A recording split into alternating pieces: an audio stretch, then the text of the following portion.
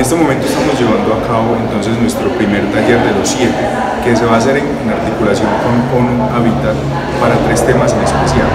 medio ambiente, gestión del riesgo, resiliencia, pero también estamos aprovechando el espacio para hablar de futuro, hablar de esa articulación de desarrollo territorial, de esa planificación del territorio. En ese orden de ideas, hoy estamos acá con diferentes sectores, con la academia, con los privados y demás, para poder hablar entonces cuáles son los retos que tenemos desde el medio ambiente y desde la gestión del riesgo. Es importante tener en cuenta que este es un componente fundamental para poder pensar a futuro. En ese orden de ideas, hoy estamos aquí para poder entonces tener claro cuál es la ruta de acción, cuál es la ruta de navegación de Caldas en un futuro y por supuesto este taller se extenderá entonces en las diferentes subregiones para que al finalizar podamos tener entonces un documento claro, conciso, ruta de navegación a futuro desde estos componentes, gestión del riesgo, resiliencia y cambio climático. Hola, muy buenos días. Mi nombre es Andrés Mogollón, soy consultor de Naciones Unidas eh, para el Hábitat en Colombia y venimos desarrollando una actividad en conjunto con la Gobernación de Caldas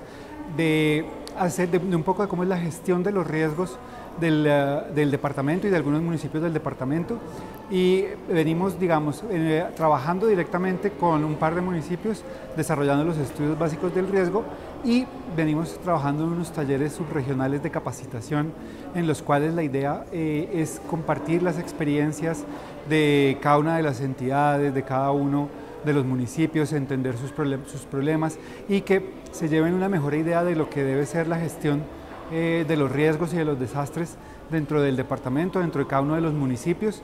y, un poco ayudarles a, dar ese paso, a resolver las dudas, a entender eh, las dificultades que tienen y a buscar formas para solucionar para que a futuro, eh, sabiendo que estamos en un escenario de cambio climático donde eh, las lluvias cada vez son más fuertes, donde las sequías cada vez son más fuertes, entender cómo podemos actuar y prevenir todas las consecuencias que eso lleva muchas veces en los municipios y disminuir la cantidad de víctimas, la cantidad de infraestructura dañada, eh, para que a futuro, digamos, eh, tengamos una mejor gestión. Ese es básicamente nuestro papel y es lo que venimos desarrollando actualmente con la gobernación de Cali.